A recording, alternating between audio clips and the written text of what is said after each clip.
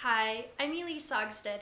Powder Magazine has asked me to put together a little video edit for you, the reader, uh, to give you a reason to go vote for me on the Powder Awards. But I really don't like to talk about myself, so I got a few people to say a few things about me, which I would like to thank them for the kind words that they bestow upon me, and hopefully you go vote for me on the Powder Awards.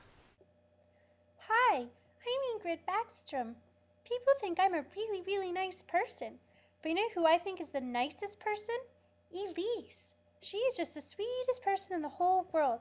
She's one of those people who is there to catch you when you fall. She's so nice that she bakes cookies for the homeless.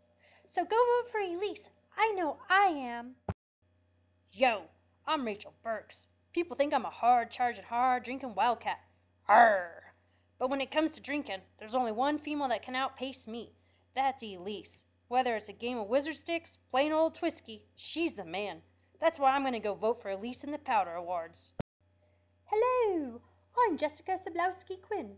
Most of you know me as a heli guide and owner for Points North Heli Skiing. What you don't know is I'm a hell of a fisherman too.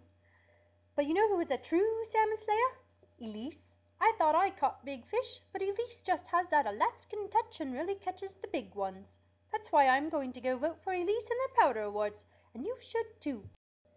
Hey, I'm Michelle Parker. What's up?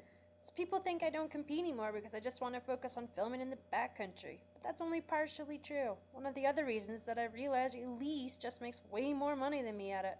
So why bother with it anymore? Dang, she even wins rocks. I'm definitely voting for Elyse in the Powder Awards. Have a good one. Hi, I'm Oprah Winfrey. As you all know, I will be leaving my post in daytime television.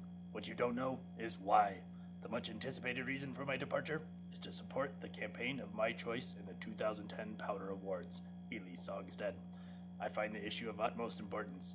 We must all stand strong in these trying times and take the initiative to change the future for our children. This is our destiny. Go vote for Elyse Saugstad. She is the new face of America.